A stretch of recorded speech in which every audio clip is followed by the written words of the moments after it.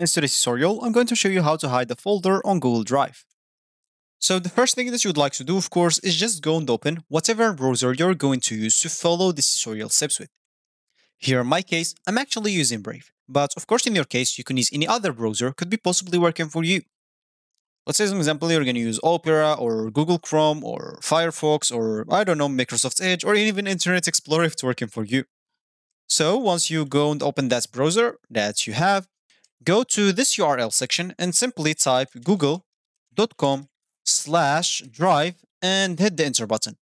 That should take you to this page directly, which is the home screen or the main screen of Google Drive.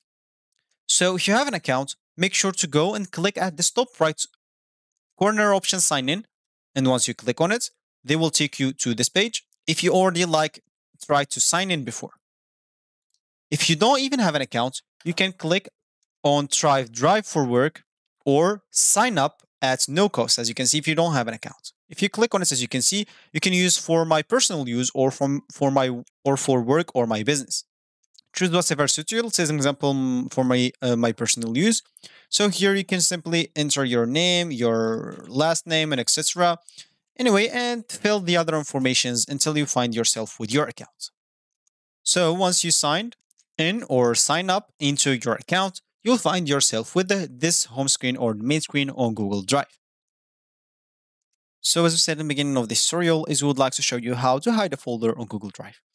So there is no direct way to hide actually a folder. Let's say as an example, I want to hide this folder. Simply right click on it and just go and remove it.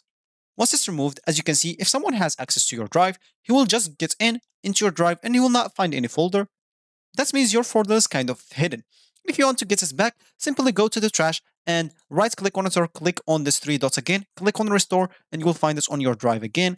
So that's the only indirect way to hide it because there is no direct way to do it. So this will be actually for this tutorial. I hope you like it. Thank you guys for watching and goodbye.